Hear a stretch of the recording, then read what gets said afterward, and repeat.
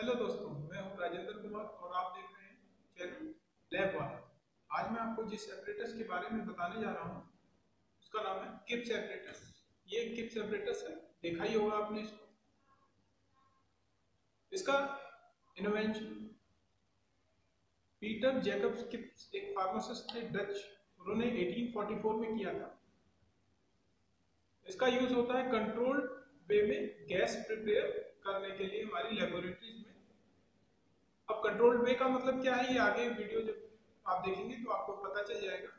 इसमें एक सॉलिड और लिक्विड का रिएक्शन कराया जाता है और उस रिएक्शन के प्रोडक्ट में गैस जो फॉर्म होती है, उसको हम यूज़ करते हैं स्टोर करके।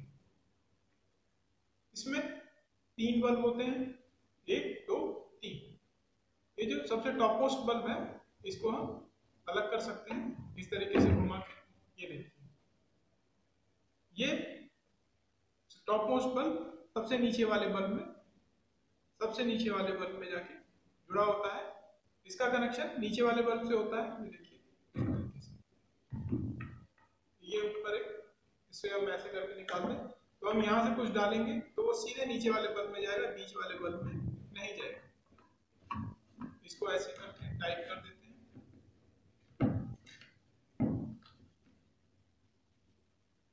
अब इसमें क्या है? बहुत ही प्यारी वर्किंग है इसकी।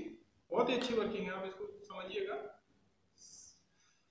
सबसे ऊपर के बल्ब का कनेक्शन सबसे नीचे वाले से है और इन दोनों बल्ब का कनेक्शन एक दूसरे से कोई चीज़ यहाँ डालेंगे तो वो यहाँ जा सकती है, लेकिन यहाँ नहीं जा सकती, लेकिन कोई चीज़ यहाँ डालेंगे तो वो भी यहाँ जा सकती है। लेकिन यहाँ से कोई चीज़ डायरेक्ट यहाँ जा सकती है। मतलब इन दोनों के बीच में नहीं है, लेकिन इसका कनेक्शन तीनों से। अब होता क्या है इसमें? एक सॉलिड और लिक्विड सॉलिड जो होता है सॉलिड को हम इसमें डालते हैं। सॉलिड को हम इसमें डालते हैं। तो हमें जो भी गैस फॉर्म करानी है, जैसे हमें हाइड्रोजन गैस फॉर्म करानी है तो हम एक मेटल ले मेटल के पीसेस ले लेंगे, जैसे जिंक पीसेस ले लिए वो इसके अंदर डाल देंगे और एच या एच कोई भी एसिड जो है, वो इसके अंदर भर दिया यहाँ से। दोनों की रिएक्शन करवाई और हाइड्रोजन गैस यहाँ से हमें मिल। गई हमें अगर कार्बन डाइऑक्साइड गैस चाहिए तो एसिड और कैल्शियम कार्बोनेट कैल्शियम कार्बोनेट यहाँ डाल दिया और एसिड यहाँ से डाल दिया रिएक्शन हुई CO2 गैस यहाँ से मिल गई।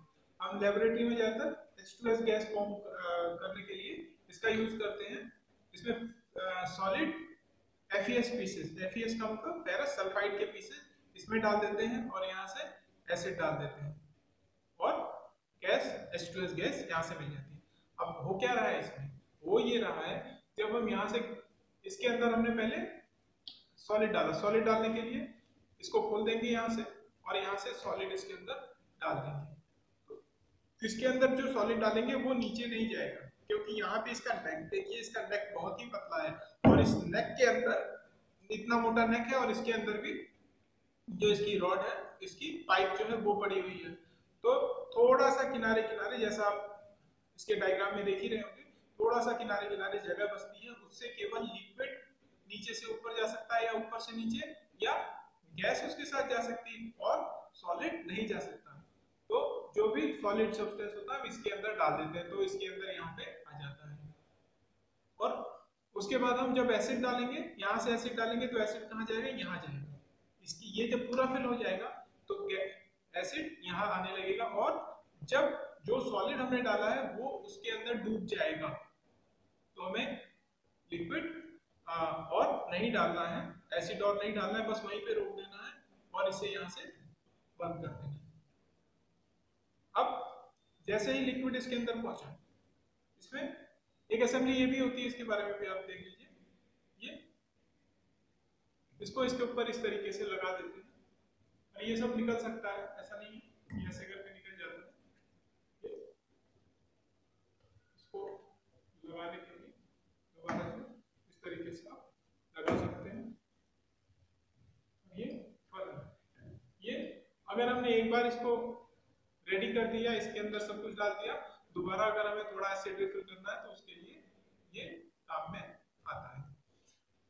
इसके अंदर, जब हमने यहाँ तक एसिड भर दिया, इसके अंदर वो भी है सॉलिड भी है तो सॉलिड और एसिड का रिएक्शन होने लगा।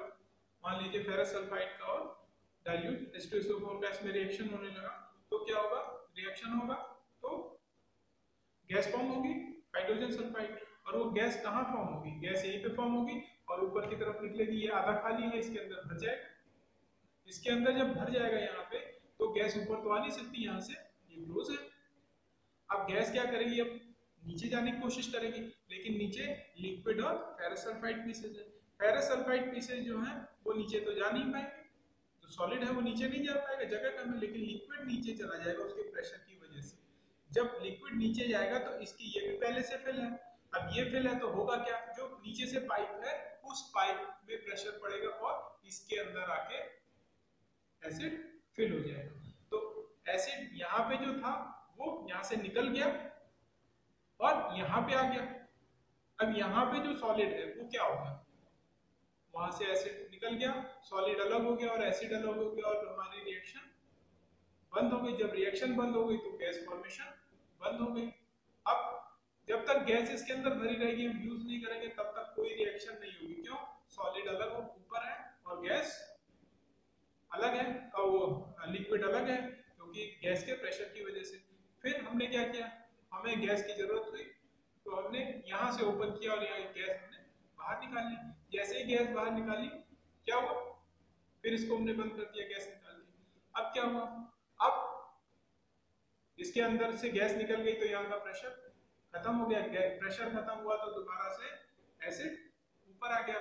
जब एसिड ऊपर आया तो इसके अंदर जो सॉलिड है, दोबारा से वो एसिड के साथ मिक्स होकर रिएक्शन करने लगा। और रिएक्शन करने लगा गैस बनी। गैस बनी तो यहाँ फिल हुई और यहाँ फिल होके उसके प्रेशर से लिक्विड नीचे चला गया और लिक्विड नीचे जाके इसमें आ गया। लिक्विड नीचे जाके इसमें आ गया और तब तक इसमें रहेगा लिक्विड जब तक हम ये गैस निकाल नहीं लेंगे। तो दोबारा हमने यहाँ से गैस निकाली और फिर वही साइकिल शुरू हो गई। तो इसको बोलते हैं कंट्रोल्ड वे जब हमें ज़रूरत पड़ी तो हमने रिएक्शन करवाई और गैस ली। और जब ज़रूरत नहीं पड़ी तो रिएक्शन नहीं करवाई। जिससे कि ये जो केमिकल है, घंटों तक चलता है। एक बार इसमें गैस प्रिपेयर कर लीजिए। पाँच छह घंटे, सात घंटे आप गैस लेते रहिए लेते रहिए लेते रहिए, जब ज़रूरत पड़े। और कभी कभी क्या होता है? जब हम इकट्ठे मिला देंगे, जैसे किसी टेस्ट ट्यूब में हमने सॉलिड और मिलाया ऐसे एसिड को मिलाया जिंक पीसेस के साथ। रिएक्शन चालू हुई, तब तक रिएक्शन हुई, जब तक वो पूरा खत्म नहीं हो गया। या तो एसिड न्यूट्रलाइज नहीं हो गया, या तो जिंक पीस खत्म नहीं हो गया, तब तक नहीं। लेकिन इसमें वो रिएक्शन धीरे धीरे करके होती है, जब हम चाहते हैं तो होती है, जब नहीं होती। ये इसका सबसे खास बात है कि इससे कंट्रोल्ड वे में गैस प्रिपेयर होती है। जब हमें मान लीजिए इसमें एसिड की वो कम हो गई एसिड का कंसंट्रेशन कम हो गया, बहुत डाइल्यूट हो गया एसिड रिएक्ट रिएक्ट होते होते होते होते। लेकिन हम चाहते हैं कि थोड़ा अभी थोड़ा सा और हो जाए रिएक्शन तो हम यहाँ से थोड़ा सा एसिड और मिला देंगे। और यहाँ पे क्या होता है, यहाँ पे देखिए बड़ी अच्छी असेंबली है ये यू टर्न यू का मतलब जब इसमें एसिड डालेंगे तो यहाँ से ऐसे जाएगा ऐसे जाएगा, ऐसे जाके अंदर जाएगा। जब बंद करेंगे तो यहाँ पे एसिड कुछ फंसा रह जाएगा। यहाँ का एसिड जो फंसा रह जाएगा वो इसमें गैस को निकलने नहीं देगा। गैस नीचे से जाएगी और यहाँ पे आएगी, यहाँ गैस यहाँ पे एसिड होगा तो वो यहीं तक रह जाएगी। तो ये हो गया हमारा किप सेपरेटर्स के बारे में। बड़ा ही इंटरेस्टिंग है इससे हम कई सारी गैसेस फॉर्म कर सकते हैं। वीडियो आपको कैसा लगा बताइएगा।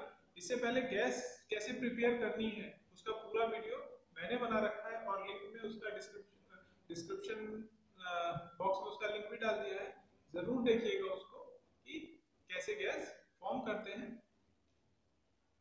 इसमें जो ज्वाइंट्स होते हैं उसमें ग्रीस वगैरह लगा देना चाहिए ताकि वहाँ से गैस की लीकेज ना हो और बहुत ही अच्छा एपरेटस है, लेकिन इसकी वर्किंग बहुत ही कम लोग जानते हैं, बहुत ही कम लोग इसमें सही तरीके से गैस प्रिपेयर करना जानते हैं, क्योंकि ज़्यादातर लोग को मैंने देखा 90 परसेंट हमारी लेबोरेटरीज में क्या होता है, इसी के अंदर सॉलिड भी डाल देंगे, इसी के अंदर वो भी लिक्विड भी डाल देंगे। और रिएक्शन होती रहेगी होती रहेगी होती रहेगी और थोड़ी देर बाद गैस बननी बंद हो जाएगी। बच्चे शुरू के जो बच्चे होते हैं, वो तो अपने टेस्ट वगैरह कर लेते हैं, लेकिन जो बाद के बच्चे होते हैं, वो खाली देख देख के चले जाते हैं। हाँ एक एक सेपरेटर से इसमें गैस फॉर्म होती है और पूरी लेबोरेटरी में गैस गैस की महक रहती है, लेकिन गैस प्रिपेयर नहीं होती। क्यों? अनकंट्रोल्ड तरीके से गैस प्रिपेयर होती है, यहीं पे रिएक्शन होती रहती है। जब हम सॉलिड यहाँ डालेंगे लिक्विड यहाँ डालेंगे तो ही तो सही से इसमें गैस प्रिपेयर होगी तो देखिएगा आपकी लेबोरेटरी में कैसे कैसे गैस प्रिपेयर करते हैं, आप पूछिएगा। और अगर नहीं, उनको पता होगा तो बताइएगा थैंक यू दोस्तों